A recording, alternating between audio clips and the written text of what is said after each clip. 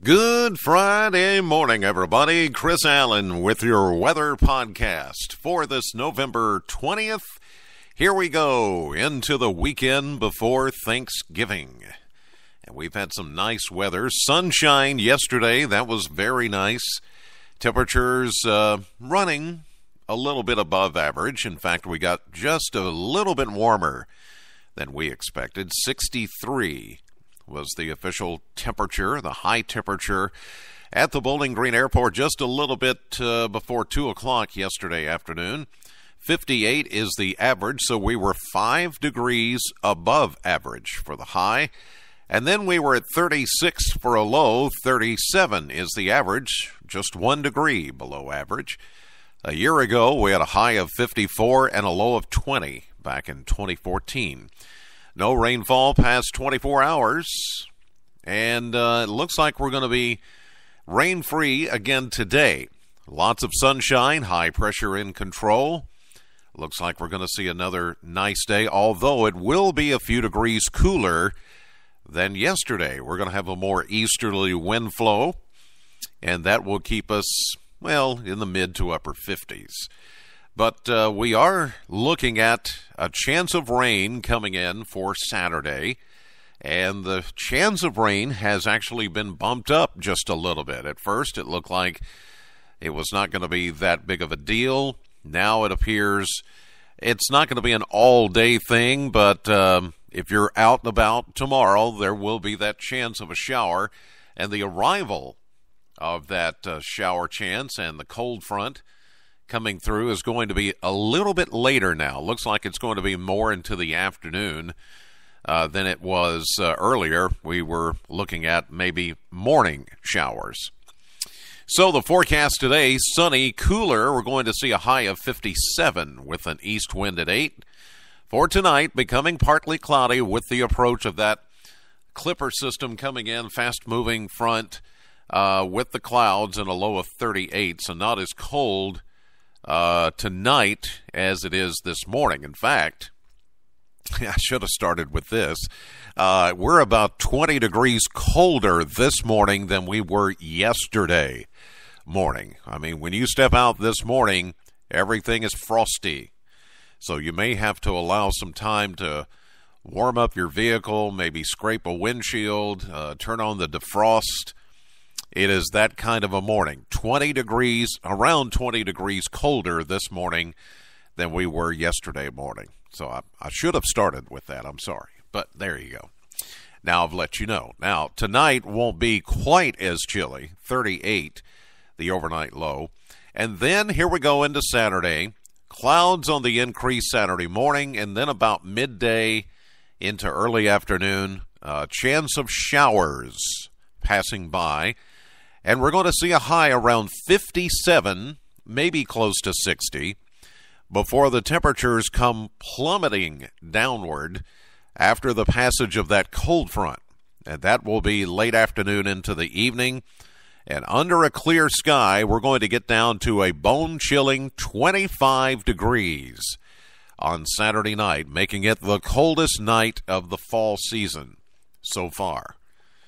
So as I mentioned yesterday, if you have not winterized, if you have not taken care of your car, if you've not unplugged or unhooked or unscrewed your hose pipes from your faucets and spigots, uh, if you have not winterized things that need winterizing, uh, you need to get that done today or early tomorrow because uh, it, we're going to see a couple of nights here well below freezing.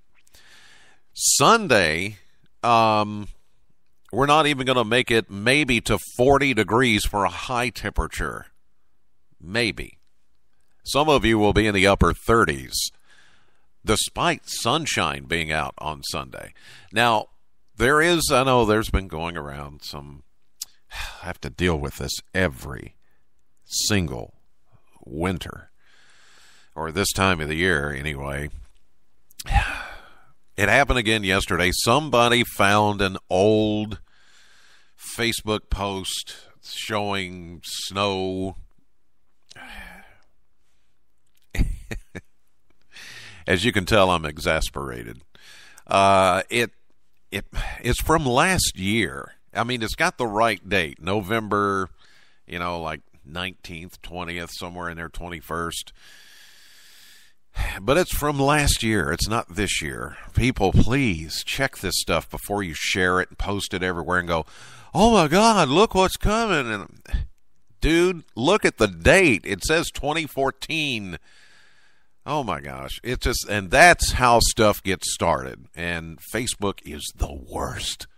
I wish that, you know, people would just pay a little bit closer attention before it. So, friends don't let friends share old posts unless it's something, you know, old weather post. Let's put it that way because you can you can frighten a lot of people and get stuff stirred up and then I get all the questions. Well, so and so in another part of the state says we're going to get 2 to 3 inches of snow uh, this week. And I'm like, "What are you talking about?" And then sure enough, I get on Facebook and I see that somebody's taken something from a year ago and posting it and going, "Oh my gosh, look at this!" And then people are telling me, "Hey, check the date. That's old." I'm like, "Golly." Wow, no matter, I mean, how gullible do you have to be? And no wonder we fall for so much junk. I wanted to say something else, but junk that's on social media, and we will just believe anything that's posted there and go, oh my gosh. But please don't. If you see that stuff, nip it as Barney Fife would say, nip it, nip it in the bud as quickly as you can to help us out here because, uh, man, that stuff just gets out of hand. It's you can't bring it back in a lot of ways. So, yes, there could be a few flurries that fly around east of us, mainly along the I 75 corridor as that front passes Saturday evening into that part, the central and eastern parts of Kentucky. But it's not going to be any any big deal at all. Ground's still too warm. It's not going to stick. It's not going to be a big deal. All right, now moving back to Sunday, sunny but cold. The coldest day so far this fall, a high of only 40, and then back down to 24 under a clear sky Sunday night. So two nights in a row make it three. Okay, Monday sunny and 48, but we're going to get down to 28 that night. So three nights in a row of below freezing temperatures, and that could freeze some stuff up. That's why I'm saying if you haven't winterized yet, do it now. Tuesday, as uh, a lot of folks will be traveling, uh, sunny and 55. We start to warm up. Next Wednesday, mostly sunny, the biggest travel day of the year. We'll see a high of 58, a southeast wind. And then next Thursday is Thanksgiving. We're looking at a mix of sun and clouds and much warmer, a high of 62. It looks like it's going to be a nice and mild Thanksgiving here in southern Kentucky. Uh, by Black Friday, though, it does look like a chance of rain moves in. So that's just to give you a heads up about that. Okay, that'll do it for this edition of the podcast. God bless as always, and thank you so much for listening. Know the weather before it knows you, and don't share old weather posts. Have a great day. I'll see you live at 5:30 on AM Kentucky, 11 a.m. on midday, streaming live to the WBKO app and WBKO.com. Then later today, join me for my radio show at Classic Hits, Sam 100.7 FM from 3 until 7.